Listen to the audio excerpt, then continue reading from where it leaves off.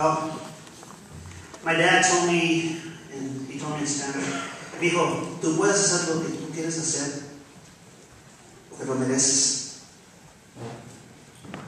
He told me, son, you can do whatever you want, whatever you want, because you deserve it. When I started campaigning back in July, in my grassroots campaign, I knew that I could make a difference. I started seeing that the last well, six, the last six years, and before that, the last 150 years, our government here in, our government here in, in the valley hasn't done much. We still have high unemployment. We still have high drop rates. We still we have Biden's, and how Mr. Manley said before, it already it already scared over here, and it's not getting any better. I want to I want to fight for the people. It's my name. It's my name on the on the ballot this year that I want to fight for. So if you vote for me in District 38. I want to do the job for you. I want your support. And thank you for everything.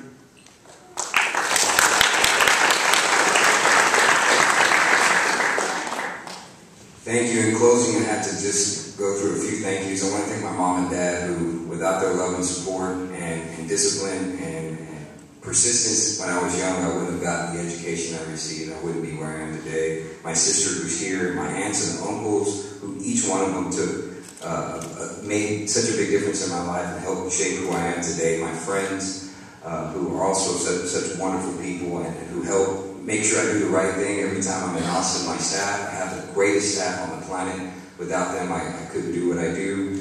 Uh, but more importantly, my, my wife and kids my wife and kids. I'm having a baby, you know. My wife and kid, Olivia, uh, who really, two years ago, uh, her birth really changed my perspective. I care deeply about my community, no doubt. I care deeply about education. I care deeply about the, the community I was growing up in. But her birth changed my eyes and realized that the stakes are much higher than I could have ever imagined. And I want a better place for her and all children.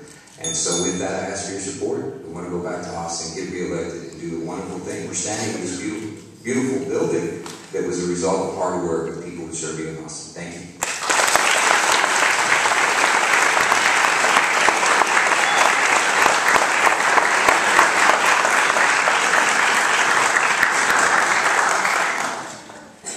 I would like to thank the Academy. I would like to thank you all for having us here tonight. I've run in many elections and it's so rare to see this kind of involvement, and it, I can't tell you how happy it makes me feel that your students and professors and the center have done this. It's, it's so critically important. Uh, voting is such a privilege, such a privilege. People stand in lines for miles in other countries, and we can't get people to vote even when we set it up at HEB folks are going to go get their six pack or their eggs or their gallon of milk. I don't know what it's going to take, but you're doing it, thank you very much. Let me close by saying this. It has been a great honor and privilege for me to be your representative. I want to continue to fight the fight. I want to take care of the 5 million public school children in our state, and I want to be your representative in Austin. I humbly ask you for your vote and support. Thank you, and God bless you, and God bless Texas.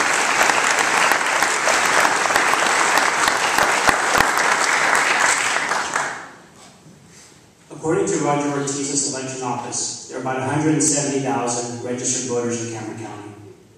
And yet, two years ago, only about 13% of those voted. It's incumbent upon you not just to go out and vote, tell your friends to vote, tell your parents to vote, get your neighbors to vote. We know there are a lot of people that live in Cameron County that are either residents or they have no legal status. They can't vote at all. But you can.